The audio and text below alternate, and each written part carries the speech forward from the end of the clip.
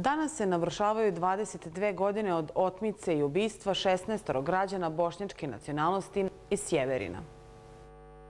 Oni su 22. oktobra 1992. godine iz Sjeverina krenuli svakodnevnim poslovima u Priboj autobusom preko teritorije Bosne i Hercegovine, kada su pripadnici Srpske paravojne formacije Osvetnici, kojom je komandovao Milan Lukić, zaustavili autobus u mestu Mioče i nakon legitimisanja izveli 15 muškaraca i jednu ženu.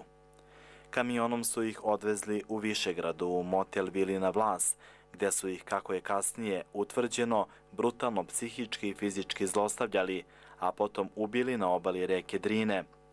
Ubijeni su Mehmed Šebo, Zafer Hadžić, Medo Hadžić, Medredin Hodžić, Ramiz Begović, Derviš Softić, Mothad Softić, Mujo Alihodžić, Alija Mandal, Sejad Pecikoza, Mustafa Bajramović, Hajrudin Sajtarević, Esad Džahić, Ramahudin Đatović, Edis Gibović i jedna žena među njima, Mevlida Kolčić.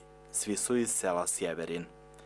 Za taj zločin Okružni sud u Beogradu je u julu 2005. godine osudio na po 20 godina zatvora Milana Lukića, Olivera Krsmanovića, obojicu u osustvu i Dragutina Dragićevića, a Đorđe Ševića na 15 godina zatvora.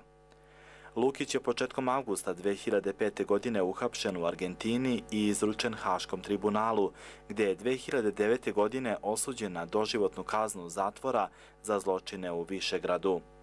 Krsmanović je uhapšen u maju 2011. na području Višegrada.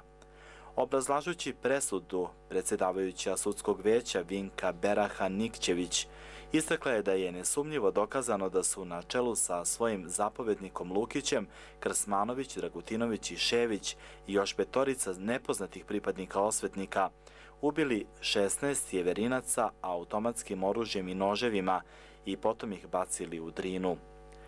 Zlostavljanje i ubijanje civila ne može biti vid rodoljublja, već samo jedan strašan zločin, rekla je Beraha Nikićević, istakavši da je presuda prevencija da se slični slučajevi na ovim prostorima više nikad ne ponove.